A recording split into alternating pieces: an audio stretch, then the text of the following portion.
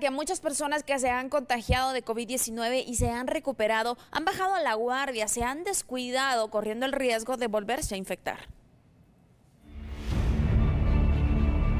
Algunos guatemaltecos al momento de tener síntomas van con el médico y se hacen la prueba de COVID-19, mientras que los que han superado ese proceso no saben si son o no inmunes y dejan de cuidarse.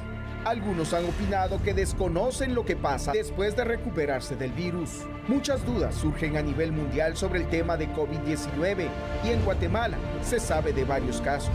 Pero algunos tienen dudas sobre qué pasará después de haber contraído la enfermedad, por lo que desconocen si quedarán inmunes por algún tiempo o no, o si es posible volver a contraerlo. Según los estudios a la fecha, el COVID-19 le puede pasar a cualquier persona. Algunos tratan de cuidarse y no salen de sus viviendas, pero hay otros que deben salir a trabajar y permanecen en la calle, teniendo contacto con varias personas. Es por ello que se deben tomar todas las medidas de bioseguridad que han recomendado las autoridades de salud. El tema del COVID-19 es complejo. Los síntomas que pasan después de recuperarse son algo incierto. Ante ello, especialistas no concluyen sobre si hay o no inmunidad luego de infectarse.